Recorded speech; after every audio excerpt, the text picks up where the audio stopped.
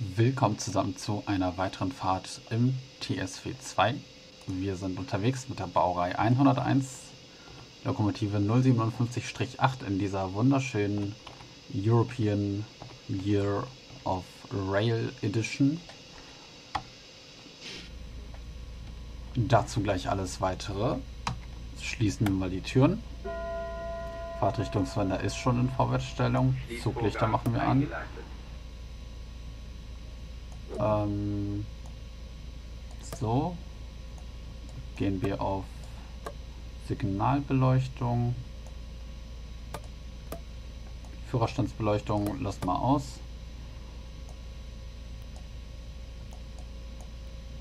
Instrumentenbeleuchtung mal kurz hoch. Anzeigenhelligkeit hoch. So, Bremsen lassen wir mal, sperren wir mal auf, lösen die Bremsen, ziehen nochmal ganz kurz die Federspeicherbremse komplett an. So, dann gehen wir einmal nach hinten. Signalleuchten auf Spitzensignale. SIFA, PZB und LZB an. So, PZB-Modus U. Hervorragend. Dann setzen wir uns hin. Knipsen uns die AFB an. AFB, AFB, AFB. Gehen wir hier auf 40. So, dann haben wir soweit alles. Dann machen wir noch den Scheibenwischer an. Jawohl. Und mit leichter Verspätung machen wir uns dann jetzt auf den Weg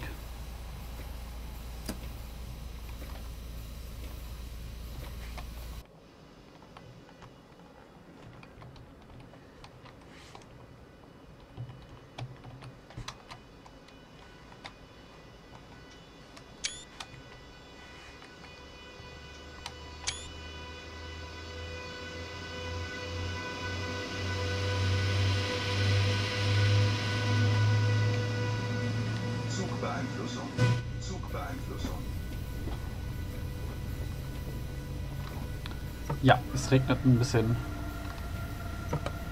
Ein bisschen heftig heute.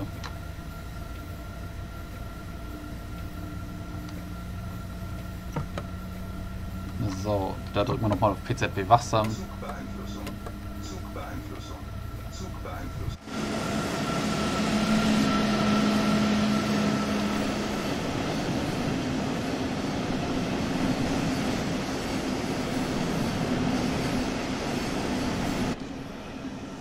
Mir ist nicht ganz bewusst, warum diese Fläche hier rot ist. Das ist wohl beim Repaint ein bisschen äh, ja, unglücklich äh, gemacht. Das ist auf jeden Fall in Realität nicht so, aber unabhängig davon ist das Repaint richtig, richtig schön. Ne? Huch. Gehen wir mal auf die Seite. Also richtig schön, alle Details, die man hier braucht. Jedes Symbol ist sehr, sehr hübsch nachgestellt. Wir haben hier die Bahn für Europa, Spur für Europa, Rail pour l'Europe. Sehr schön, 200 km/h Abschleppgeschwindigkeit. Also alles da, was man so braucht. So, wir drücken wieder auf PZB wachsam.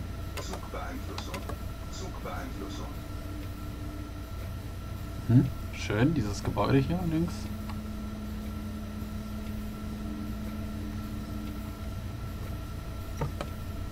Hier die E-Bremse bremst hier noch schön mit rein. Es geht gerade bergab. Das macht die AFB ziemlich gut.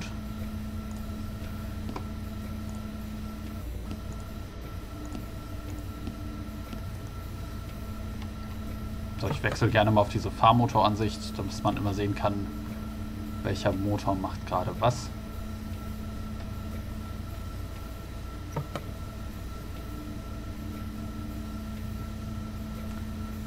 Das hier ist, glaube ich, ein Dönermann. Ja, Döner. Donnerpass. Okay. Doch, Donnerpass, Döner. Ja, Tatsache. Na, schade.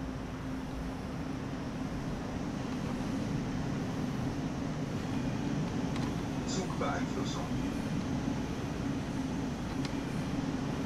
Und hinten dran werden wir geschoben von der 101.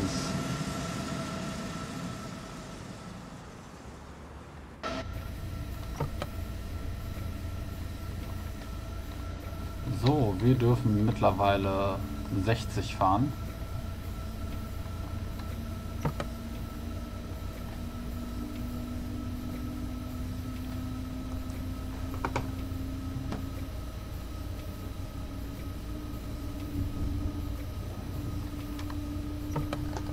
Und ab hier dürfen wir dann 100 fahren. Daher befreien wir uns mal. Hätten wir schon längst machen können. Ich weiß. Leistung zurück. AFB hoch auf die 100. Und ja, langsam Leistung aufschalten. Wir sind ja noch unter 60 sogar. Und jetzt müssten wir wieder schon die 100 fahren dürfen. Jawohl. Signal ist grün.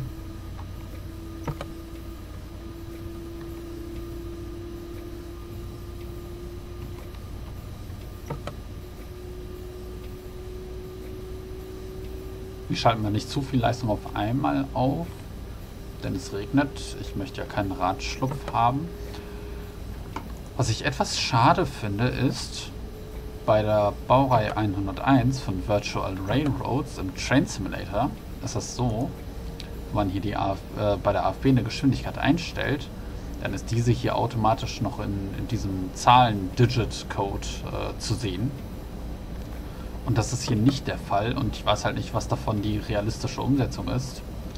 Denn beide Loks sind ja von, im Grunde genommen von Mike Golds programmiert worden, von Transom Germany.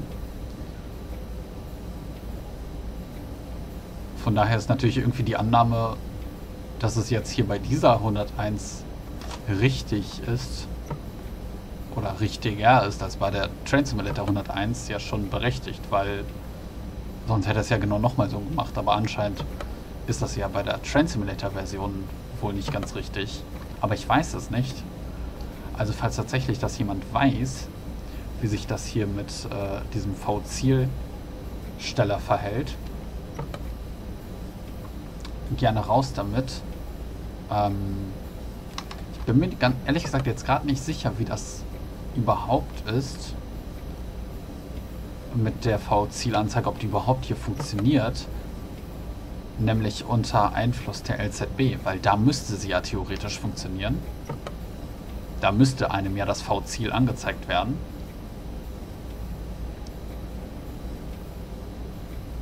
Müssen wir mal ausprobieren, irgendwie auf Köln-Aachen oder München-Augsburg oder so. Ähm ja, weiß, weiß ich jetzt gerade nicht. Aber wir dürfen schneller fahren.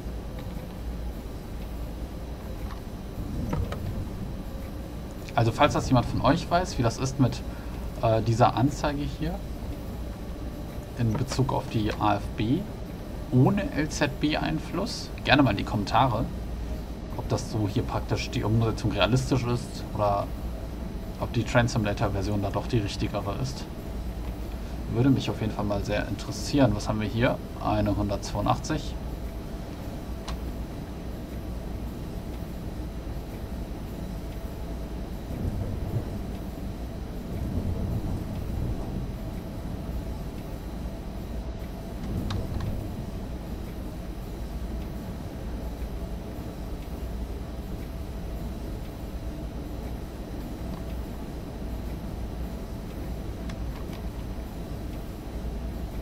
So, wir haben halt zu erwarten.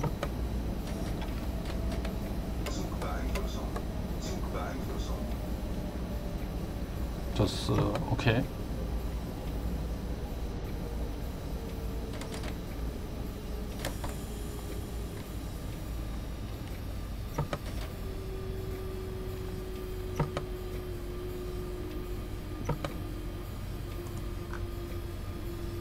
Mhm. Halt zu erwarten.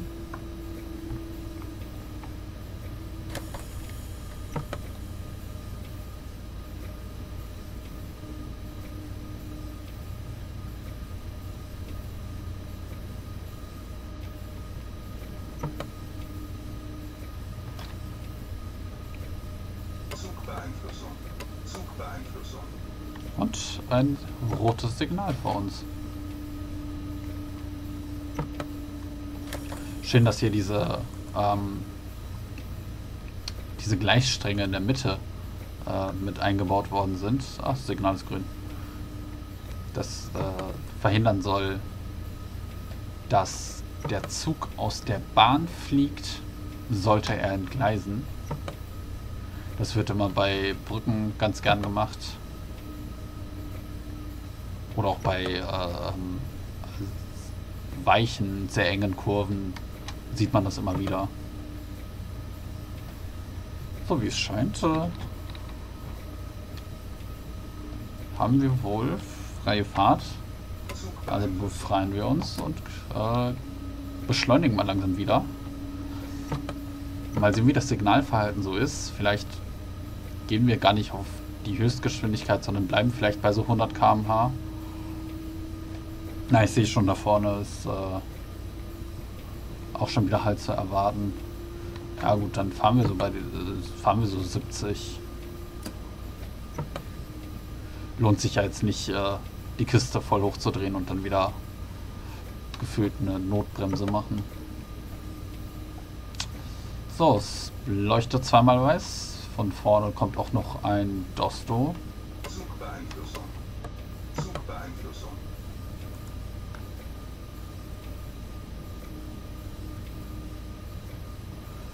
112.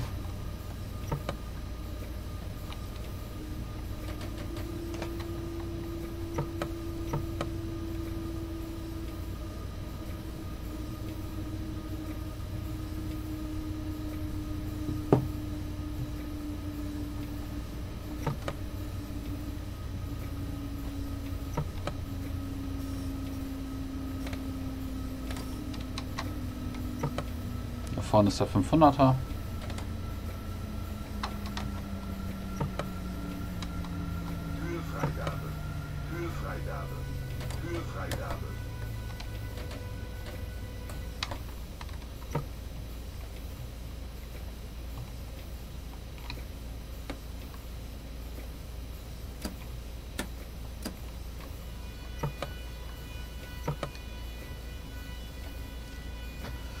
So, 500 Hertz Magnet leuchtet noch, also aufpassen.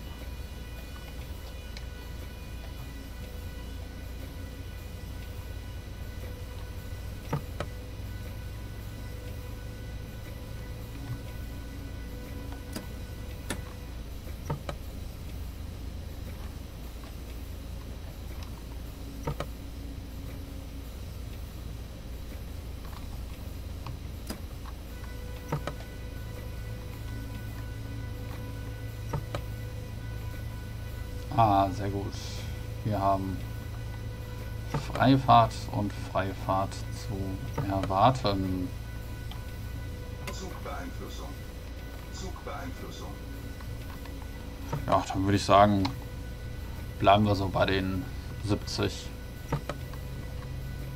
Wir fahren wohl einem RE hinterher.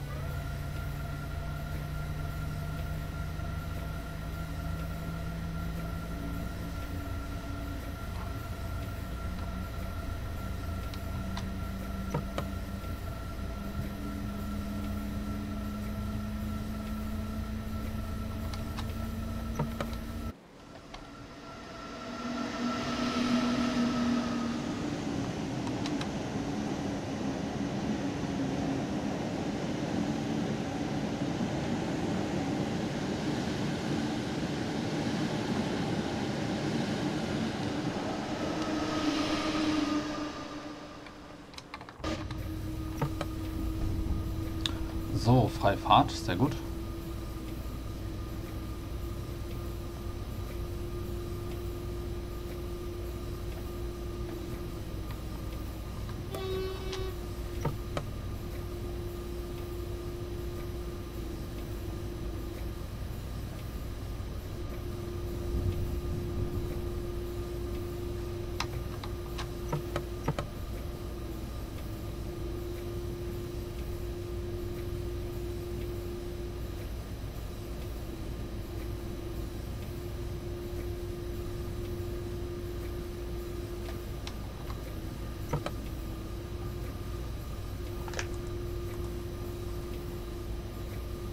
Hund. Ah ja.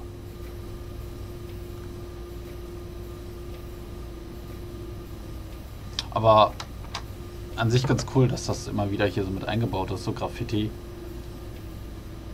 Man muss es nicht schön finden, definitiv nicht, aber man muss auch sagen, es gehört objektiv gesehen, wenn man einfach nur Beobachtungen anstellt, eben zum Bahnalltag mit dazu. Leider, aber das ist nun mal so. Dementsprechend finde ich es eigentlich ganz nett, dass äh, hier das auch dargestellt ist.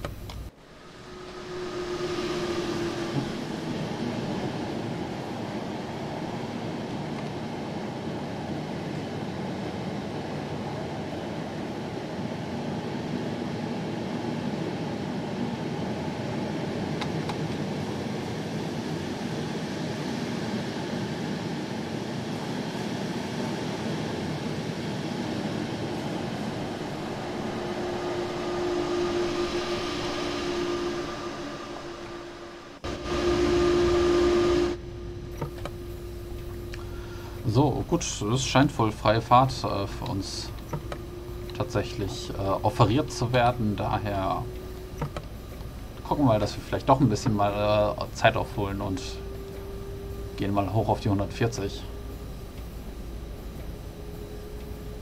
Jawohl, Hauptsignal, äh, V-Signal ist immer noch grün.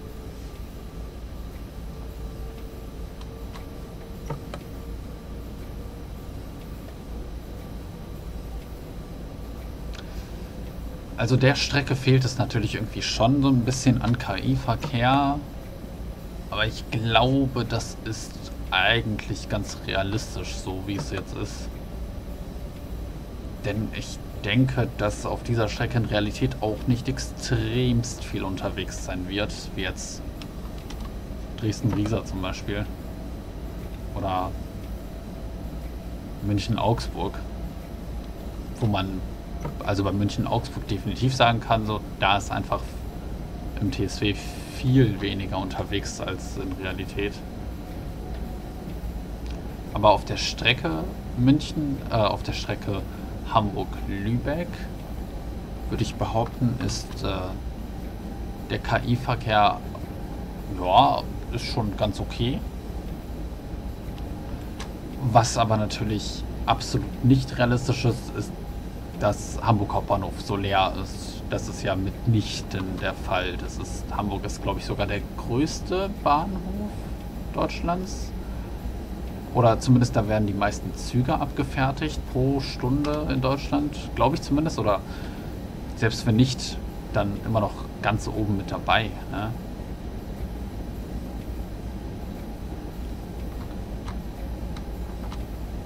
Und das ist natürlich überhaupt nicht repräsentiert am TSW.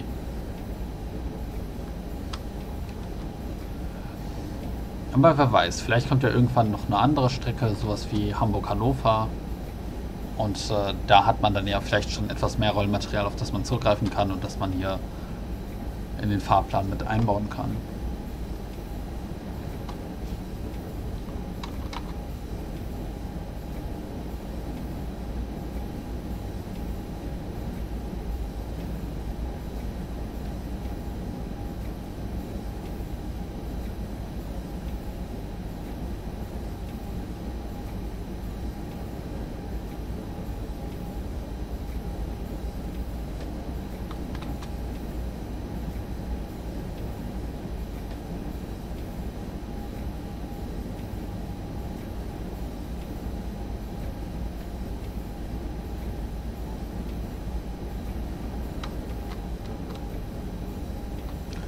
Ankündigung auf 130.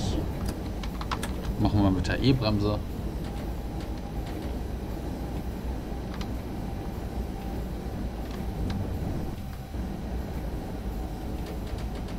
Jawohl. Während wir hier am Bahnhof vorbeirauschen,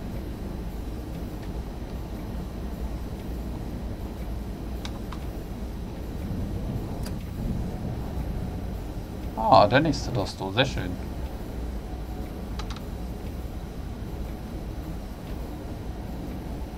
Auch nur 112.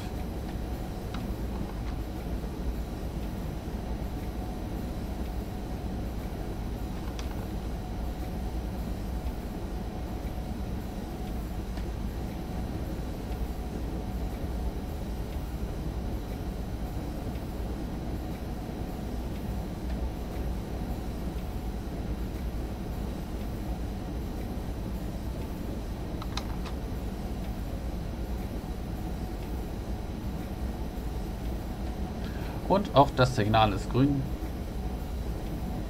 Aha, was sind das hier rechts für Gleise? Wo kommen die denn her? Ah, die sind hier nicht mal verzeichnet. Also übrigens die gesamte Strecke hier, hier unten Hamburg. Das ist, glaube ich, äh, das ist äh,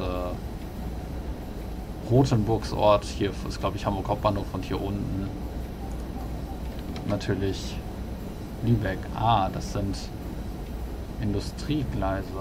Aha.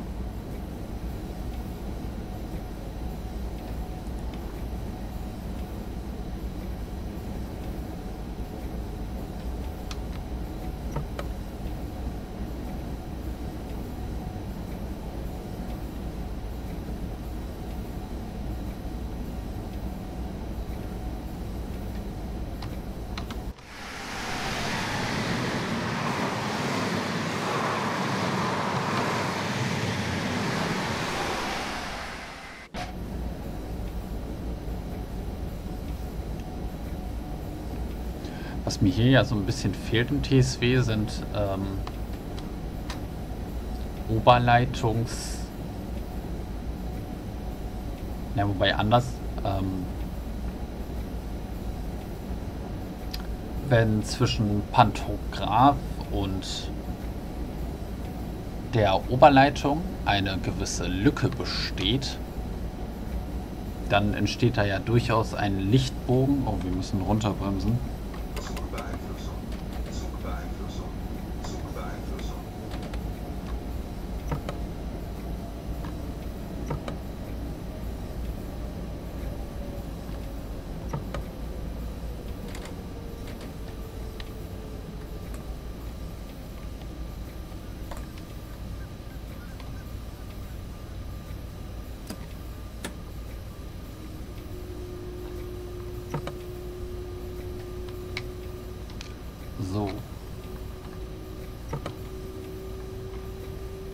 Das verstehe ich auch nicht. 90 gilt für genau diese 20 Meter und ab hier gilt wieder 110.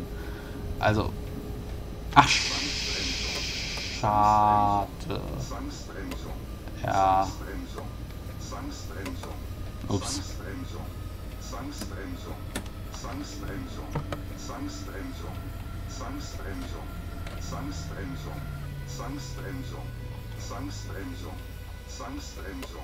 Zwangsbremsung, Zwangsbremsung, Zwangsbremsung, ja, ja, ja, ja. Höhefreigabe, Höhefreigabe, Zugbeeinflussung, Zugbeeinflussung, Zugbeeinflussung, Zugbeeinflussung, Zugbeeinflussung. Ja, haha. Ich habe da ein paar, paar, paar Mal mehr drauf gedrückt. Ja.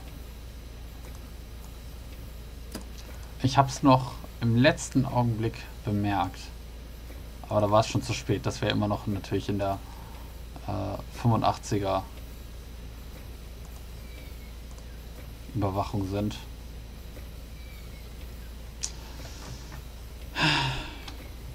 Schade.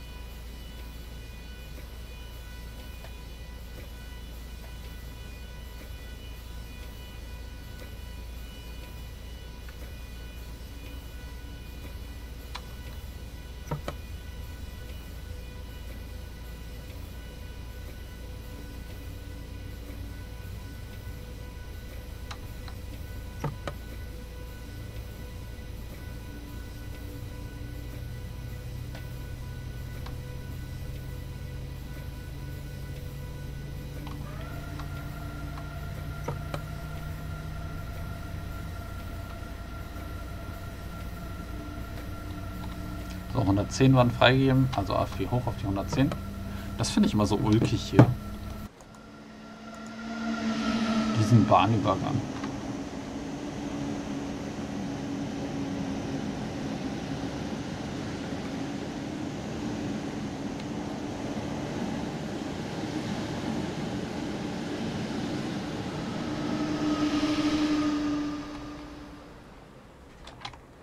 Genau, also was ich im Begriff zu sagen war, ähm, eigentlich bevor dann die Zwangsbremsung passiert ist. Es ging mir darum, dass... Ah, sehr schön.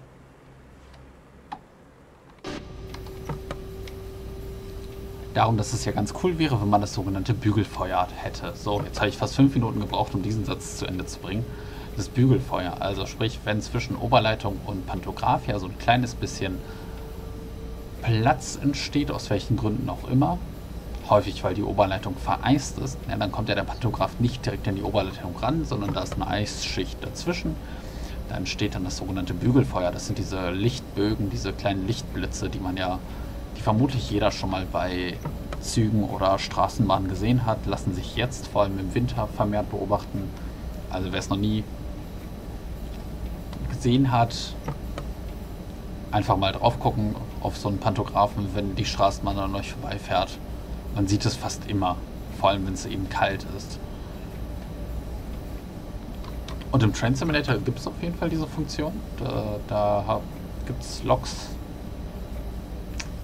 die das können, die so programmiert sind. Oder ich weiß nicht, vielleicht ist es auch die, vielleicht liegt es auch an der Oberleitung, die so programmiert ist, keine Ahnung.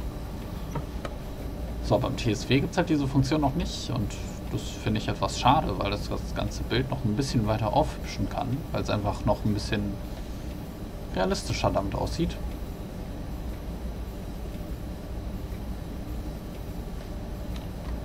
Aber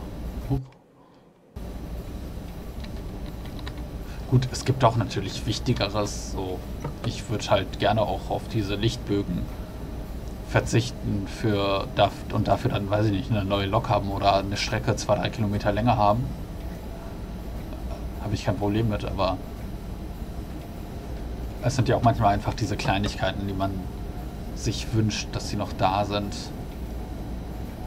Und da ist ja TSW eigentlich ganz gut, dass äh, da immer mal wieder so Kleinigkeiten eingebaut werden, die man einfach gerne hätte. Also solche Nice-to-Haves die nicht unbedingt Must-Haves sind, aber eben trotzdem dann mit dabei sind. Sowas wie eben, dass die Bahnübergänge öffnen, wenn der Zug eine gewisse Distanz zurückgelegt hat.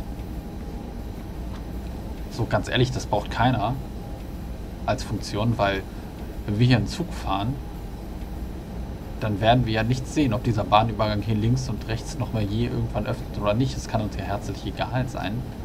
Wir werden es auch nicht sehen, wie der schließt, weil idealerweise ist er schon geschlossen, sobald er in unserer Sichtweite ist.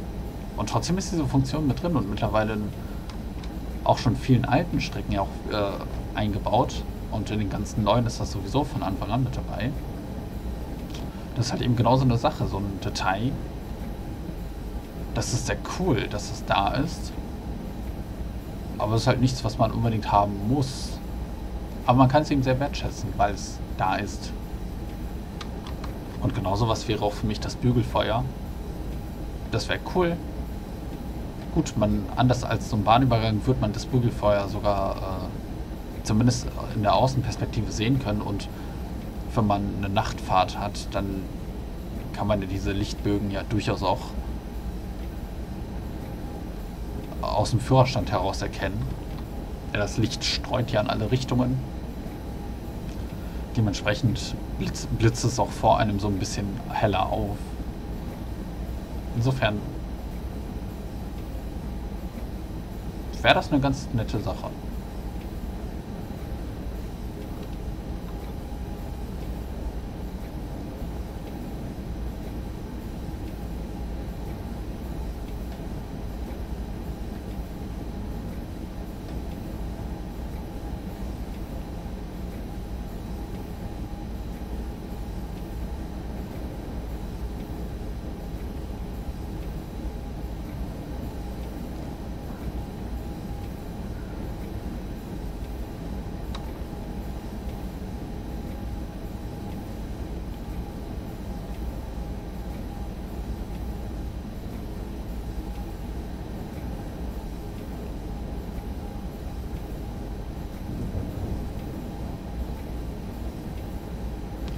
Dachte mir, ich mache dieses Video hier so als kleines Intermezzo zwischen äh, den beiden Videos mit der Baureihe 363. die ja die Dostos auf meinen Spessart abschleppt. Und statt dass ich dann beide Videos direkt hintereinander bringe, dachte ich, okay, jetzt hier mal dazwischen, so ein Intercity, so eine lange Fahrt. Ist, glaube ich, eine ganz nette Entlastung, ist ein bisschen Abwechslung. Und als nächstes, wenn ihr Lust habt, dann Teil 2 mit der 363. Wo wir dann auch die Dostos tatsächlich nach Aschaffenburg dann bringen.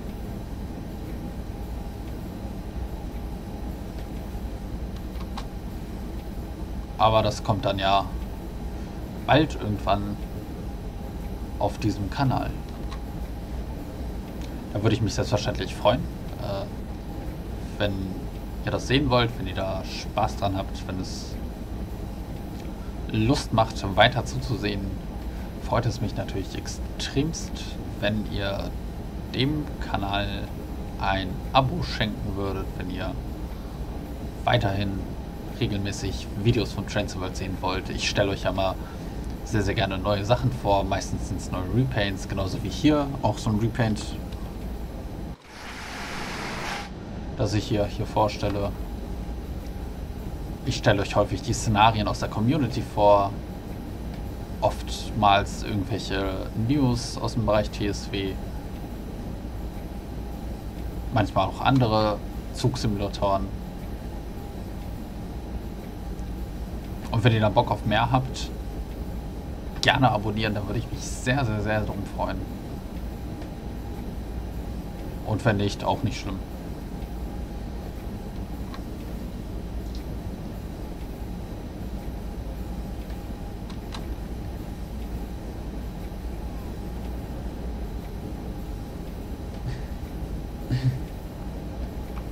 So, noch 16 Kilometer.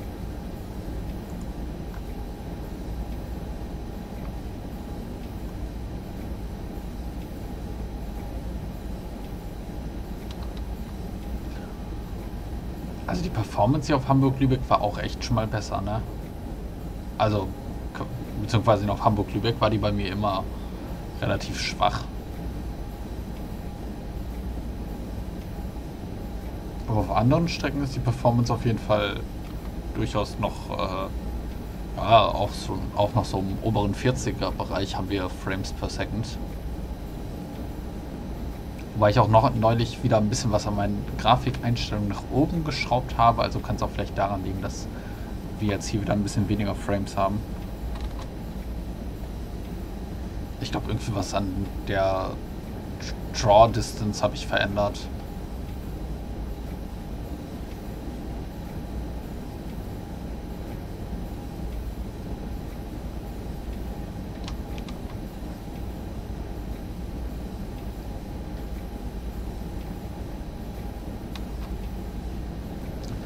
So, weiterhin freie Fahrt.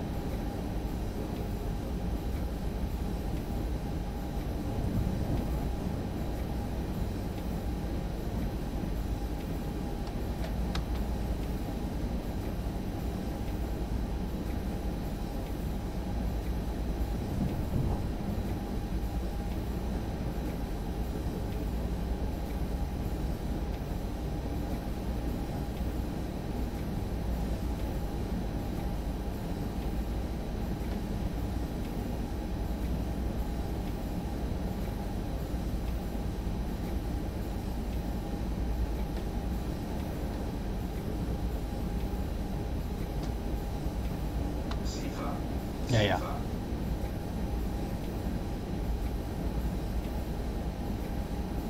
Ich schlafe schon nicht ein. Ja, wobei. Ein bisschen müde bin ich halt jetzt auch schon mittlerweile. Aber nicht müde von der Fahrt, sondern vom Tag an sich. Es war nämlich ein langer Tag. Aufgestanden bin ich um 6.20 Uhr und jetzt gerade ist es 23.08 Uhr.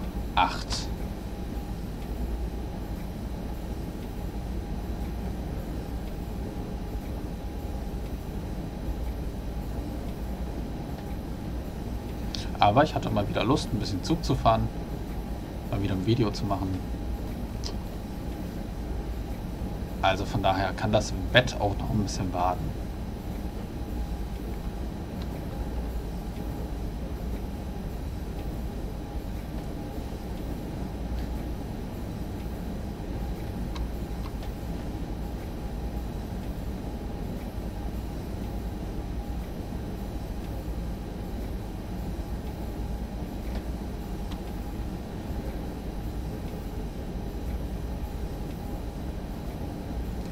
ja nicht mehr lange.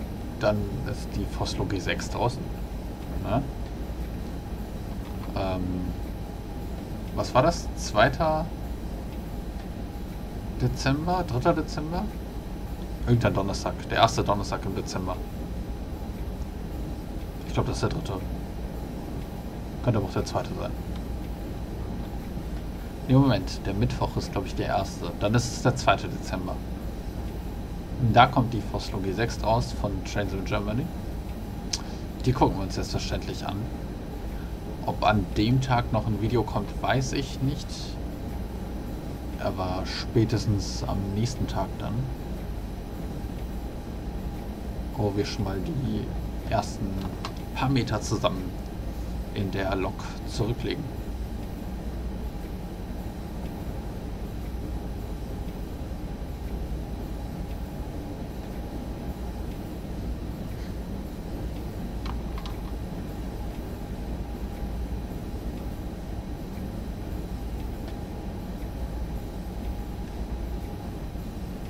Sechs Kilometer.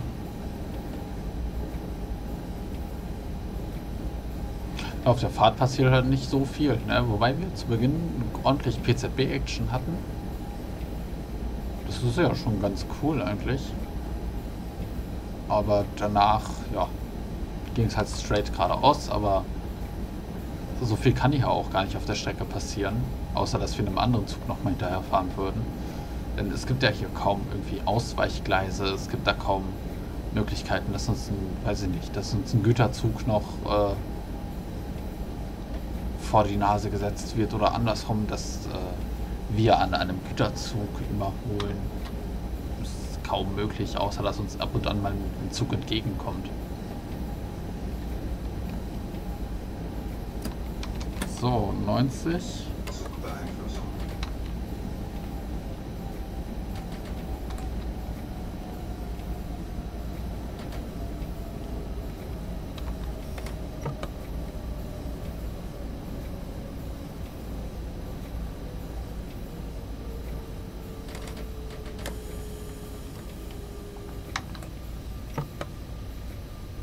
Und die Ankündigung auf 60.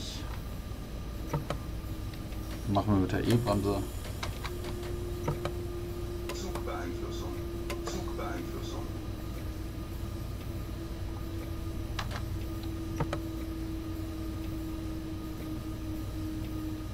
Jawohl.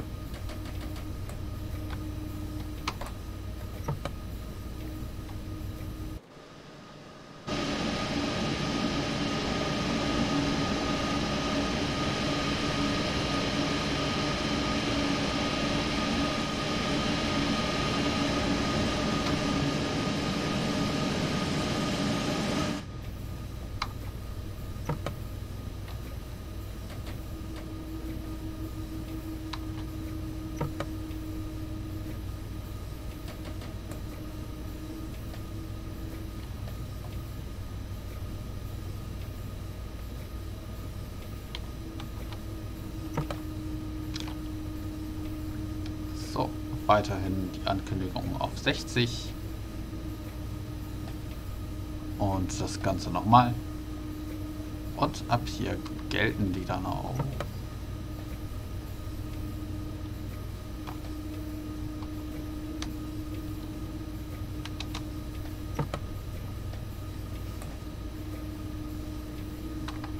Es ist 12.59 Uhr und äh, 30 Sekunden und wir hätten vor, ja gut, vor zwei Minuten ankommen sollen. Aber wir hatten ja leider einen Zug vor uns, vor der Nase. Von daher. Ich frage mich, ob der auch vor uns gewesen wäre, wenn wir pünktlich abgefahren wären. Ich denke schon.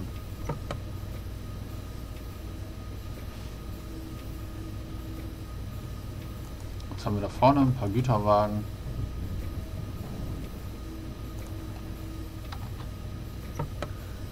Die 80er Ankündigung, die gilt aber nicht für uns, für unser Gleis, oder? Ah. Nee. Die Beralian Rail Adventure steht da vorne. Noch mehr Rail Adventure.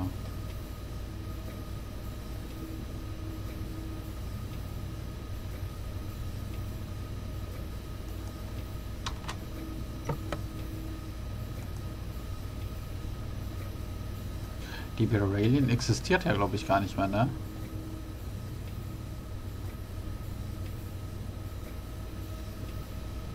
Meine ich zumindest.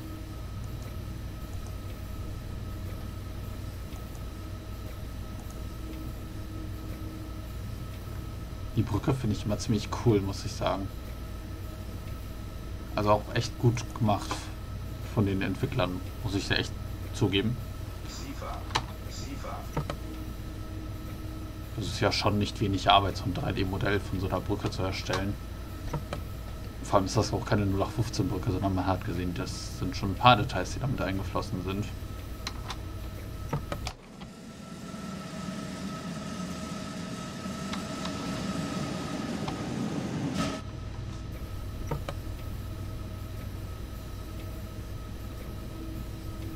So, ein Kilometer noch.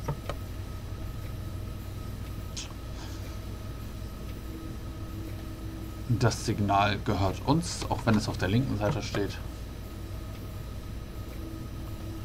Zugbeeinflussung. Zugbeeinflussung.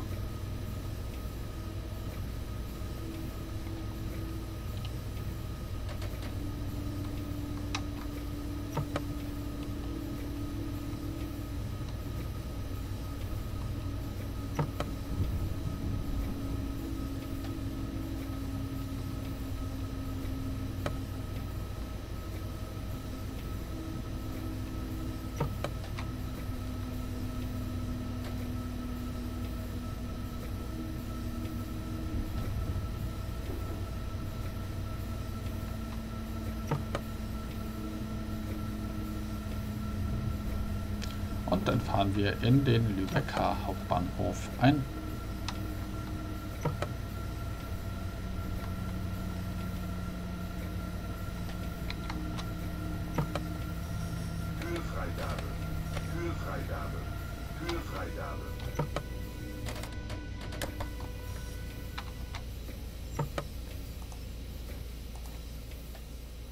Na, ich würde gerne den Scheibenwischer ausmachen.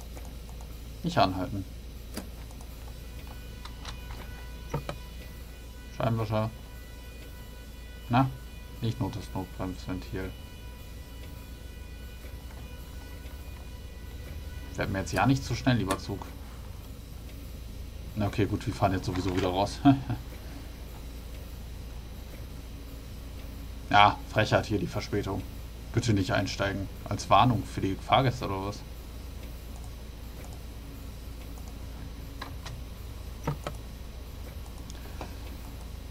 So.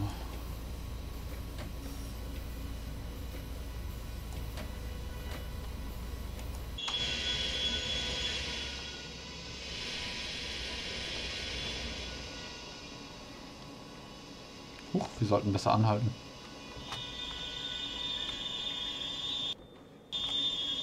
Schön, die Geräuschkulisse. Sehr schön.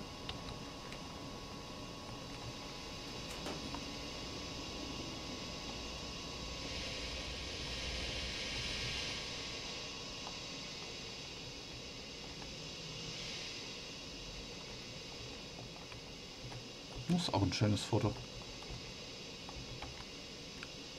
So.